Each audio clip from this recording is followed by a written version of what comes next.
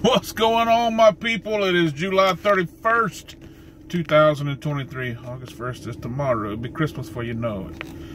Ah, it's time for today's two-minute devotion from Billy Graham's Peace for Each Day. Living history. He is not here, but is risen. Luke 24 and 6. Why is it that the biographies of so many others are believed when they are written long after their deaths?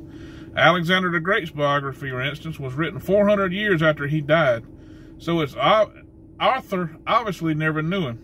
But Alexander's legacy lives on while people doubt the life of Christ as documented by the gospel writers who walked with Jesus.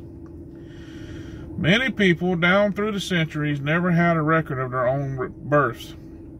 Yet the existence of Jesus is revealed in the intricate genealogy recorded in the Bible that has stood the test of time. You may you will never meet Alexander the Great in this life because he is dead, but you can meet Jesus Christ in his life because he lives. The mark of his sacrifice on the cross are found in human hearts. Most gravestones bear the words, Here lie the remains of. But from Christ's tomb came the living words of an angel declaring, He is not here, but he is risen. Hallelujah. Jesus' tomb is history's only empty grave. Our question of the day is why do you think it's so hard for some people to believe in the resurrection? Some people don't believe in the resurrection. Some people don't believe that he is returning, but I promise you that he is, and we must get ready.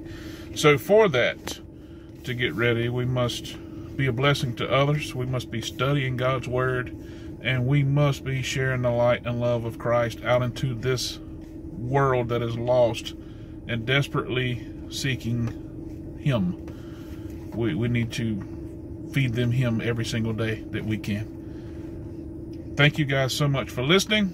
It's time to get bold, and we'll see you tomorrow.